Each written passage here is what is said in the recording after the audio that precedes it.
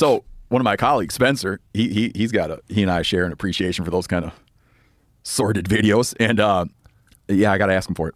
Watch this because this is pretty crazy. Oh, Look at it. I You mean, get back. You get back. Back. Ah, ah, ah. he's practicing a lot of restraint. yeah. No. Oh, Motherfucker. I just had to shoot this mountain lion. They pounced at me and I popped it in the face. Hmm. Holy shit. That's wild. Holy I mean, that is close. What do you think that is? Ten yards, my God. if that. it was close. Oh my god. Yeah. See, Oh my god. he'll report himself probably, and they'll do like an investigation, Holy shit. and he'll definitely. Oh, he'll get He'll- off for sure. Yeah, I mean, that, have- look how close. Go he'll back to that. Look he'll how have- close that is. that's amazing, That's man. not even ten yards. I mean, that might be fucking five yards. No, it's yeah feet. You know, Yanni had a big one too. You know, look how big that thing is. See, I disagree. You don't think that's ninety pounds, hundred pounds? Oh yeah,